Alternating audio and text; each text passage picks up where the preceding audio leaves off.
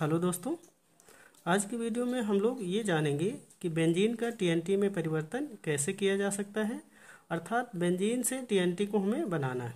TNT एक विस्फोटक पदार्थ है, जिसे हम ट्राई नाइट्रोटालुइन के नाम से जानते हैं। ये रिएक्शन दो स्टेप में कंप्लीट होगी।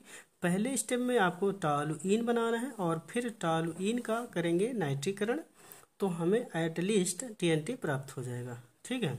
तो हम सबसे पहले क्या करेंगे कि निर्जल एल्युमिनियम क्लोराइड, ये जो आप देख रहे हैं, निर्जल एल्युमिनियम क्लोराइड, ये उत्प्रेरक लेंगे और एरोमेटिक रिंग के तौर पर यहाँ पर सी सिक्स एस सिक्स मतलब बेंजीन का इस्तेमाल करेंगे और इस बेंजीन की रिएक्शन फिर मेथिल क्लोराइड से कराएँगे। तो हमें C six S five C S three प्राप्त हो जाएगा, जो कि टालुइन के नाम से जाना जाता है। ठीक है? तो आधा आपका ये जो प्रोसेस है, वो टालुइन के नाम से जाना जाएगा और देखो, यहाँ पर हुआ क्या है कि यहाँ का जो आपका हाइड्रोजन है, वो रिप्लेस होगा और वो हाइड्रोजन सी के साथ मिलके एस सी का एक अणु बना लेगा और यहाँ जो आपका कार्बन है, वो फ्री हो जाएगा। क्योंकि पहले हाइड्रोजन ऐड था, लेकिन हाइड्रोजन जब हटा दिया जाएगा तो वो फ्री हो जाएगा और उसी जगह पर ये सी एस थ्री ऐड हो जाएगा। यहाँ पर देख सकते हैं।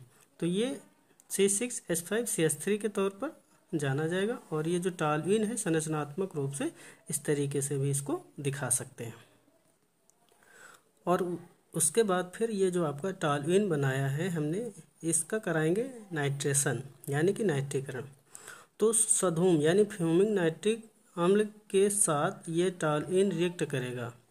और ये जो सधूम फोर है, ये एज ए कैटालिस्ट इस्तेमाल किया जाएगा। ठीक है? तो ये पूरा प्रोसेस आपका नाइट्रेशन का है और यहाँ पर तीन मोल आपको H H N O three के लेने हैं।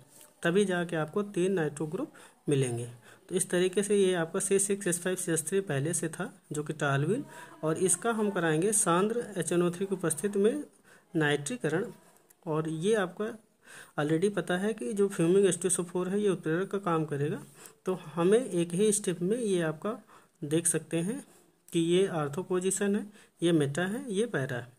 तो दो आर्थो पोजीशन पर NO2 ग्रुप लगा है और एक पैरा पोजीशन पर NO2 ग्रुप लगा है और एक पैरा पोजीशन पर सी एस थ्री ग्रुप लगा हुआ है। तो नंबरिंग करेंगे तो one two three four five six तो दूसरे पर चौथे पर और छठे पर। तो दो, दो कामा चार कामा छ। तो ट्राई नाइट्रो तीन है तो ट्राई और NO2 ग्रुप है तो नाइट्रो और बाकी जो C six S five C S three वो टालविन तो ऑलरेडी पता ही है। यहाँ पर देख सकते हैं, बना था C six S five C S three तो हमें two comma four, comma six, trinitrotoluene जो कि आपका टीएनटी के नाम से जाना जाता है, वो प्राप्त हो जाएगा।